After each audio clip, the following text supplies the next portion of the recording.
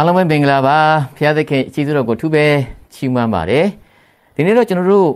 ဟေရှာယအနာဂတိကျမ်းအခန်းကြီး40ကိုအတူတူကခွန်အားယူရအောင်ဒီဟေရှာယအနာဂတိကျမ်းကတကယ်ပဲစိတ်ဝင်စားစရာကောင်းပါတယ်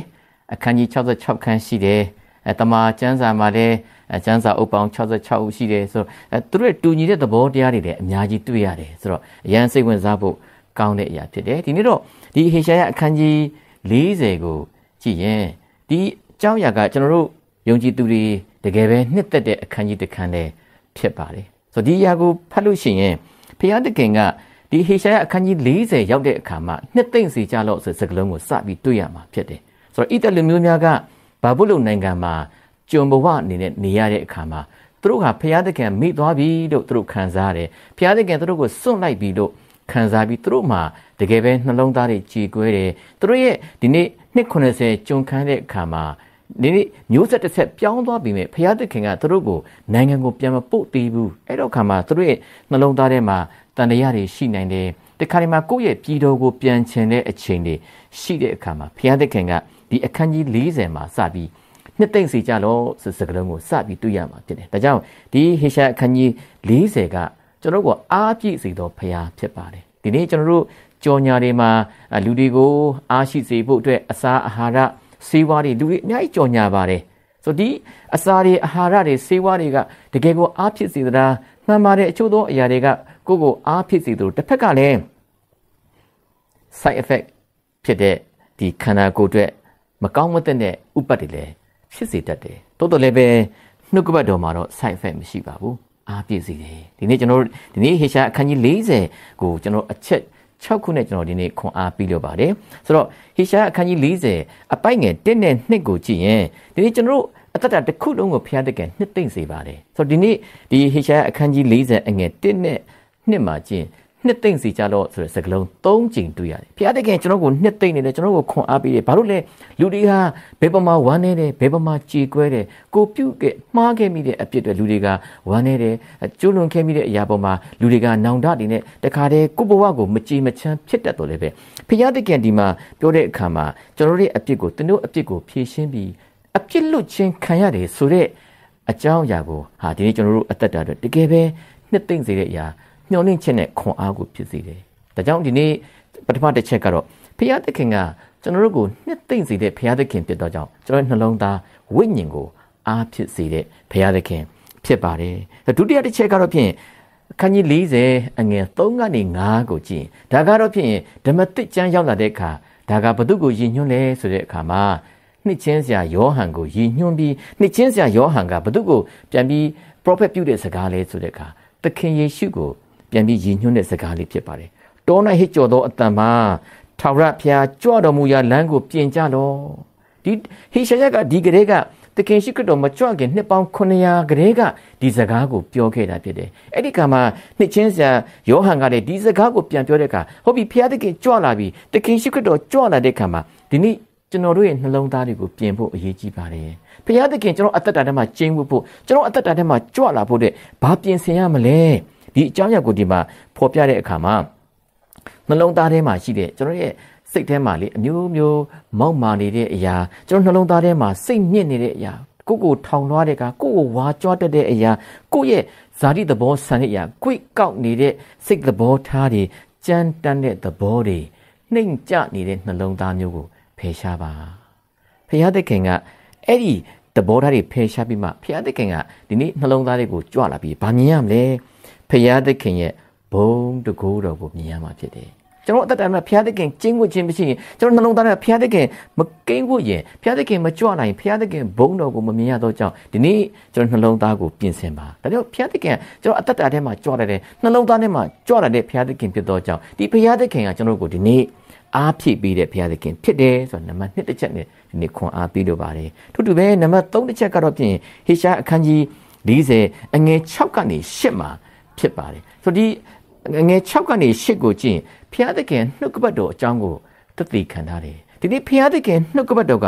ထာဝရကာလအစဉ်တည်တဲ့နှုတ်ကပတ်တော်ဖြစ်တယ်ဆိုဒီနေရာမှာလူမျိုးရှိသမျှမျက်ပင်နဲ့တူတယ်လူမျိုးရဲ့ဘုံဟာလည်းဒီနေ့တောအပွင့်နဲ့တူတယ်ဆိုတော့ဒီနေ့ကျွန်တော်တို့ရဲ့သက်တမှာကဘာပေါ်မှာ emperor ကြီးတွေ Agrit နိုင်ငံတွေအများကြီးပေါ်ထွန်းခဲ့ပါတယ်တော်တော်လည်းပဲဒီပေါ်ထွန်းလာတဲ့ Agrit နိုင်ငံတွေနေမဝဲ emperor တွေဟာ နှစ်ပေါင်းခဏပဲတည်ခဲ့တာပါတော်တော်လည်းဖျားတဲ့နိုင်ငံတော်ကထောင်ရတည်တဲ့နိုင်ငံဖြစ်တယ်ဒီနေ့ဒါကြောင့်ဘလောက်ပဲကြီးတတ်တဲ့လူမျိုးဖြစ်ပါစေမြက်ပင်လိုပါပဲတဲ့ဘလောက်ပဲကြီးနဲ့တဲ့ Agrit ကြီးတွေဖြစ်ပါစေသူတို့ရဲ့ဘုံတကိုးဟာညက်ပွင့်လိုပဲမနေ့မှပွင့်လာပြီးညနေမှတွေးချောက်မှာပဲတိုးတော်လည်းပဲဒီညမှာဟေရှာယကဖော်ပြတဲ့အခါမှာဖျားသခင်ရဲ့နှုတ်ပတ်တော်ကကာလအစဉ်တည်သောကြောင့်ဒီဖျားသခင်နှုတ်ပတ်တော်ကိုမိခို တုတ်ပတ်တော်ကိုဒီနာခံခြင်းကဒီနေ့ဖျားသခင်ရဲ့ကြီးမြတ်တဲ့ကွယ်ကာခြင်းစောင့်ရှောက်ခြင်းကောင်းကြီးကိုမြင်ရတယ်။ဒါကြောင့်ဖျားသခင်နှုတ်ပတ်တော်ဒီကာလအစဉ်တည်သောကြောင့်ကျွန်တော်ရဲ့နှလုံးသားကျွန်တော်ရဲ့အသက်တာကိုကြီးစွာသောအားဖြည့်ပေးတဲ့အရာဖြစ်ပါတယ်နံပါတ်၄တစ်ချက်အနေနဲ့ထောဖျားသခင်ကဖြင်းညင်းစွာပို့ဆောင်တဲ့တိုးထင်းဖြစ်တယ်လို့ကျွန်တော်တွေးရမှာဖြစ်တယ်ဒါကဟေရှာအခန်းကြီး40အငယ်17မှာဖြစ်တယ်အဖျားသခင်ကကျွန်တော်ရဲ့တိုးထင်းဖြစ်ပါတယ် ဒါ23ခုမြောက်သောဆာလံအပိုင်ငယ်1မှာထာဝရဘုရားသည်ငါ၏သိုးထင်းဖြစ်တယ်လို့ကျွန်တော်တွေးရမှာဖြစ်တယ်လို့ဓမ္မဟောင်းချက်တစ်ခုလုံးမှာကြည့်နေဘုရားသခင်က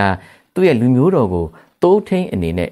ကွယ်ကာစောင့်ရှောက်ခဲ့တဲ့ဤတူပဲဒီနေ့ကျွန်တော်တို့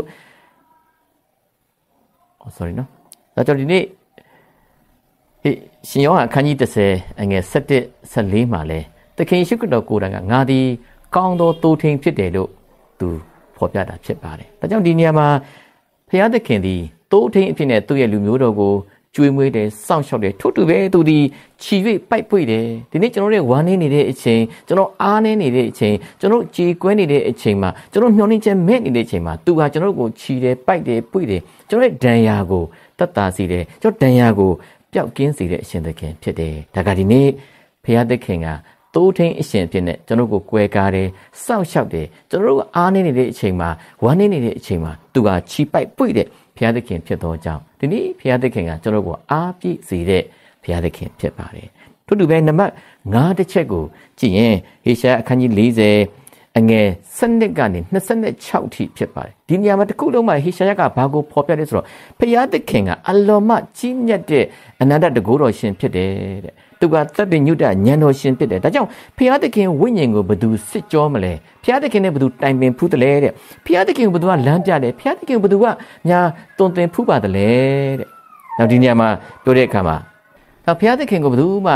အဲနီးပြီးတယ်ဖျားသခင်ကိုတရားပေးတဲ့သူဘသူမှ မရှိပါဘူးတဲ့ဒါကြောင့်ဖျားသခင်ရှေ့မှာလူဟာ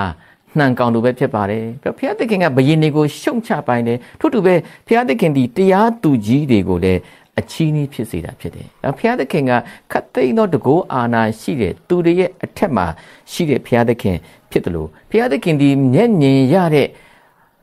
ဘုရားမျက်မြင်ရတဲ့အရာနဲ့ဘာမှနှိုင်းစာလို့မရတဲ့ဒီနေ့အနှိုင်းမဲ့အတုမဲ့တဲ့ဘုရားသခင်ဖြစ်တယ်လို့ ဟေရှာယကဒါကိုဖော်ပြတယ်။ဒါကြောင့်တစ်ဖက်ကဟေရှာယကဘာကိုဖော်ပြလဲဆိုတော့ကဒီအငယ်26မှာကောင်းကင်ကိုမော့ကြည့်ပါတယ်။ကောင်းကင်မှာကြည်တွေအများကြီးပဲ။အဲ့ဒီကြည်တွေကိုဘယ်လူသားကရည်တွက်နိုင်တယ်လဲ။ကြဲကိုဘယ်သူမှမရည်တွက်နိုင်တော့လေပဲဖခင်သခင်ကအဲ့ဒီကြဲတွေကိုသူ့ရဲ့နံပါတ်နဲ့သူ့ရဲ့နာမည်နဲ့ခေါ်ပါတယ်နောက်ဒီနေ့ဖခင်သခင်ကကျွန်တော်တို့ကိုအစဉ်သိတဲ့ဖခင်သခင်ဖြစ်တယ်ဒီနေ့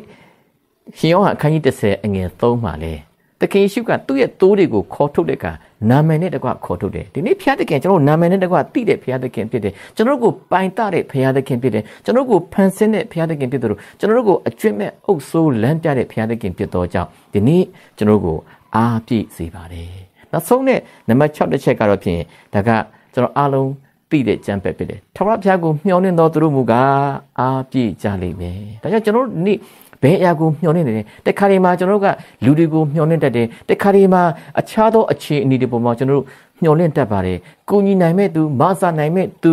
စသဖြင့်မျှော်လင့်တတ်တော်လည်းပဲဒီနေ့ကျွန်တော်ရဲ့မျှော်လင့်ရာကထာဝရဘုရားသခင်ပဲဖြစ်တယ်ဒီဘုရားသခင်ကိုမျှော်လင့်တော်သူကတကယ်မှန်သောအားကိုပြည့်စုံမှာ ဖြစ်ပါတယ်။ကျွန်တော်တို့သွားတဲ့လမ်းကျွန်တော်ရင်ဆိုင်တဲ့အမှုကိုဘုရားသခင်အကုန်သိတဲ့ဘုရားသခင်ဖြစ်တယ်လို့ပဲဒီဘုရားသခင်ကိုမျှော်လင့်တယ်ဘုရားသခင်ကိုယုံကြည်တယ်ဘုရားသခင်ကိုအကျွမ်းမဲ့ကိုးစားခြင်းကတော့ဘာကိုဖြစ်စေတယ်ဆိုတဲ့အခါမှာဒီနေ့အားပြည့်ကြလိမ့်မယ်တကယ်ကျွန်တော်တို့ခွန်အားပြည့်စုံစေသလိုပဲရွှေလင်းဓာတ်ကဲ့သို့မိမိအတောင်ကိုအသစ်ပြုတ်ပြင်တဲ့အခါမှာတကယ်ကျွန်တော်တို့ကိုအတိုင်းမဲ့အတိုင်းအဆမဲ့တဲ့ခွန်အားကိုဘုရားသခင်ပေးမယ်ဘဝကပြေးလန်းတဲ့လျှောက်တယ်လို့ပဲပြေးတဲ့အခါမှာပင်ပန်းဘူးတဲ့က ခရီးသွားတဲ့အခါမမောရဘူးတကယ်လို့တဲ့မောပန်းမယ်ပင်မန်းမယ်ဆိုတော့မှကျွန်တော်တို့ကိုခွန်အားပေးတဲ့ဘုရားသခင်ဖြစ်ပါတယ်နွမ်းနေသောသူတို့ကိုအစွမ်းတတိနဲ့ပြည့်စုံစေပါတယ်ချစ်တော်မိဘညီကောင်မများဟေရှာယကတော့ကျွန်တော်တို့ဒီနေ့